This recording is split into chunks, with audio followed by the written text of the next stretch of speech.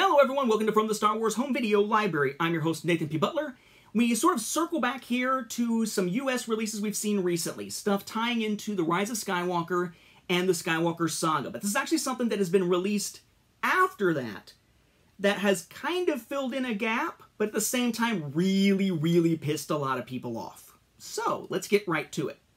In the US on March 31st, you could have bought the Skywalker Saga boxed set from Best Buy, right? This set included, among its many, many discs, its 27 discs, three discs for The Last Jedi. The 4K disc had a new label on it, but was essentially identical to what we had seen before. The Blu-ray disc took the previously digital-only, score-only audio version of the film and actually added that to the Blu-ray disc, so it was reauthored and had a new label. Then the Blu-ray bonus disc had Meet the Porgs, which was previously a Target exclusive only, uh, added into that bonus disc, and then the bonus disc got a new label colored to match the rest of the set. But the only way in the US on March 31st of 2020 to actually get the updated Last Jedi discs was in this set only.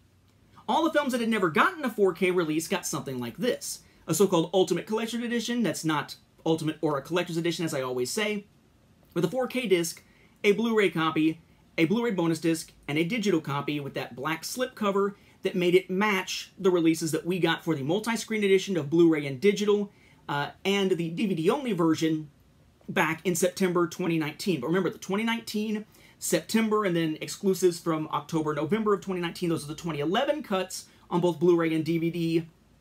This was where you could get the 2019 Disney Plus Maclunkey edition cuts if you wanted to buy them individually rather than the Skywalker Saga box set. It had to be the 4K release, which is where you got the updated Blu-ray, Blu-ray bonus disc, and of course the digital code and everything else to go with it. But it was just the films that had never gotten a 4K release. In 2018, we had gotten a Last Jedi 4K release, a Ultimate Collector's Edition, right? So this already existed on the market, which meant that they didn't feel a need to replace this by putting out one of these that looked like this initially. And fans were kind of pissed because they didn't do it for Last Jedi, they didn't do it for Solo either. Because it meant we had two films that wouldn't match the other nine. Oh lordy, whatever shall we do? We were told, don't worry, uh, through digital bits, I believe. Don't worry. Disney has said they've got versions that look like this ready to go for Last Jedi and Solo, and later on they'll be rolling those out to replace those earlier ones that don't match. Awesome. Meanwhile, at the beginning of April, we saw a lot of fans who wanted a matching set get frustrated with the it's coming soon but we have no idea when type of thing for Last Jedi and Solo and import Last Jedi and Solo from Australia, as I did. In that case, what we got was a 4K slash Blu-ray set, no digital copy, that had the updated 4K disc and both updated Blu-ray discs, okay? So in Australia, you didn't have to buy a big box set to get the updated Last Jedi disc to get that score-only version of the film and meet the porgs. No slipcover, looks a little bit different with the Australian rating and everything else, but at least it was something to fill that gap while we waited for this to be replaced with something that looks like this. Then came the middle of May 2020. And you would have hoped that we would see something to fill those gaps on the American market soon, but we didn't expect it to actually happen that soon. So people were kind of going, wait, what's going on? Because of what we were starting to see on places like eBay. I'll get into that in just a moment. I managed to get myself a copy of this as soon as we started confirming it was showing up in Target stores. Uh, presumably they're going to show up in other stores. Target happened to be the first ones that started to see it on shelves uh, across the country because a lot of folks started finding them around the same day in Targets. The US now finally has a matching release. This is The Last Jedi in that black packaging. 4K Ultra HD, 4K Ultra HD plus Blu-ray plus digital code. Star Wars The Last Jedi with the image there, embossed of course. Ultimate Collector's Edition, whatever. The Movies Anywhere stuff down here. Ultra HD Blu-ray, Star Wars The Last Jedi. Product number in Lucasfilm. Same thing on the other side. A back very similar to what we saw out of uh, Australia. Got the Movies Anywhere thing up here, but then you've got the tagline, information about the film, information about the discs, um, technical specifications, the various logos and whatnot, the legalese, the rating, and more information about digital copies down here. What initially made us a little wary of this, though, was that somebody spotted a couple of these on eBay. And one of the copies that was spotted on eBay showed the back. And if you look at that back, the window there, that image just does not match what's around it. You'd expect it to be kind of yellowish or something. So it gave us pause like, oh God, surely they didn't. Because prior to that, there was one other copy we had seen on eBay.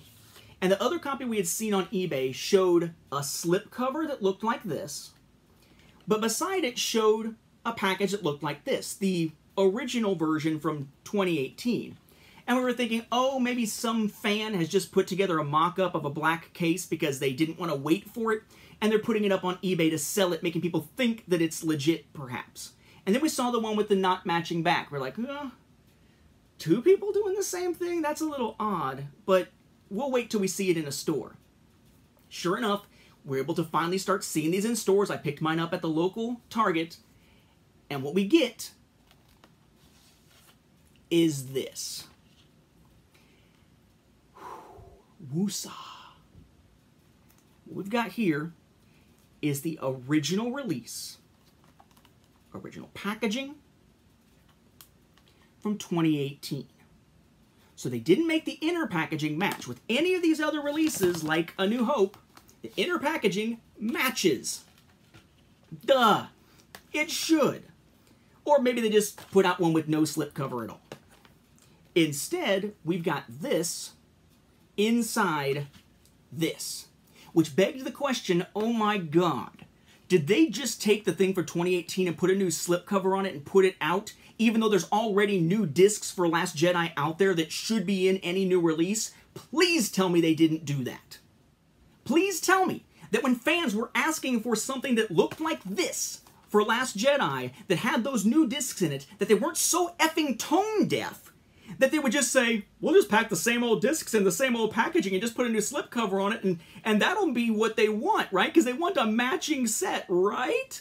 Without even considering the whole thing of newly authored discs being part of what people wanted. Surely they weren't that idiotic and tone deaf. But of course they were. Of course they were. Yes. This is literally the discs from 2018. Logo on the bottom and everything, colored bottom the red and black version of the 4K logo. Yeah, yeah. They had the effing nerve, they had the cajones to actually put out something like this to match these other releases with the old shit still inside.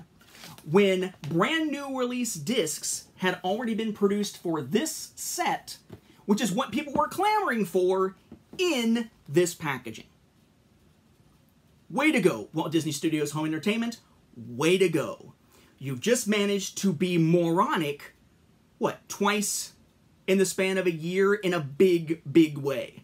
Um, I would say the other way was the fact that they waited to release these in March, but had already released Blu-ray slash digital versions and DVD versions that look like this in September 2019 that had previous cuts of the films that are confusing the living hell out of people because this 4K version and the Blu-ray and DVD versions that look like it don't have the same cuts of the films in it. That was bad enough. But now this? Put the old stuff into the new slipcover and pray that people think that it's updated? Wow, that's asinine. So, do we have an updated version of Last Jedi to match the packaging on our shelves? Yeah, technically. We have a slipcover that matches now do we have a way of actually in the US without importing to buy the updated Last Jedi discs outside of the Skywalker Saga box set? No, we still do not. What do we hope? We hope that eventually these, with this underneath it, will eventually sell through so that they will actually start putting something inside this that matches with this and has the new discs. That maybe as their old stock runs out, we'll see new pressings with the updated discs in updated packaging inside the slipcover. But the fact that that wasn't their first approach to this slipcover is just going to make it more confusing to people and more asinine in the long run. I'm assuming they'll probably do this crap with Solo, but as we noted with that release from Australia for Solo, even when they got relabeled bonus discs, the bonus disc did not include any new content like the Target exclusive stuff for Solo.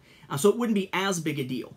But we know there are discs already for Last Jedi that have new stuff on them. We know they've been reauthored. They're available on the market and had been for almost two full months when they pulled this crap on us. Wow. Just really... It, it, it feels like things like like like with the Clone Wars. I feel like, hey, remember? Remember Quinlan Vos? We love Quinlan Vos too. We know you want to see Quinlan Vos in this series, so check it out. Boom, Quinlan Vos in the Clone Wars. Oh wait, his characterization is completely different and you now hate him? Damn, but we thought you wanted Quinlan Vos. Wasn't that what you were asking for? You got the surface level, we wanted it to match. The deeper level, we wanted it to actually match content-wise. You completely effed up. Well done, Walt Disney Studios Home Entertainment. Well done. With that, we'll wrap up this episode. Thank you for watching. May the Force be with the home video viewers. Unless you were the home video viewer who came up with this. In which case, you know what? I'll have to cut it here.